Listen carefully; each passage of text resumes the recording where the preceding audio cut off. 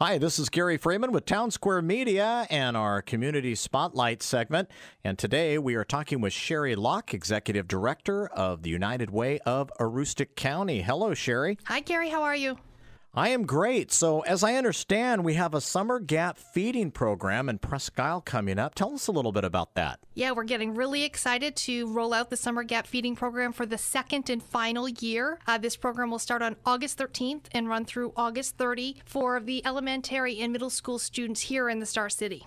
Give us a little bit of history on the Summer Gap feeding program. How did this all start and how did it become such a wonderful program that our community can get involved in? This is the second and final year, as I mentioned, and it was because we recognized that there was a need. SAD1 does a wonderful job with a USDA summer feeding program, but when the high school students go back into school, it leaves that one month gap where the elementary and middle school students are not eligible for that summer feeding program. And it was leaving children hungry for up to three to four weeks during that summer. This is the last year of the harvest break, so this will be the last year of our program. Again, really reaching out to fill that need that was identified in our community. So I would imagine you are looking for sponsors for this event? Absolutely. All of the money that we raise towards this program goes directly into food costs. There are no administrative fees or no overhead fees for this program. Every dollar goes to buy nutritious food that we can supply to these children at no charge. We've partnered with TAMC, the city of Presque Isle and Presque Isle Housing to really find these children where they're at, and we actually serve these lunches at the community center in Presque Isle as well as four locations in the housing projects here in Presque Isle.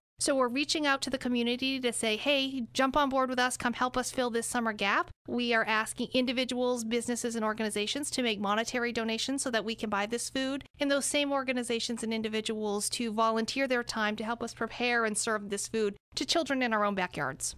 All right, the Summer Gap Feeding Program. Come on, Presque Isle. Let's get behind this great program and get some people fed here in our community. Sherry, real quick, if we want to get involved, who do we contact to get involved? Just give our office a call at the United Way at 764 5197, and we're happy to find a way for yourself or your organization to be part of this. All right, we're going to thank you and the community in advance for being a part of this. And Sherry, thanks for all you do. And we look forward to hearing some good results with the Summer Gap Feeding Program this year.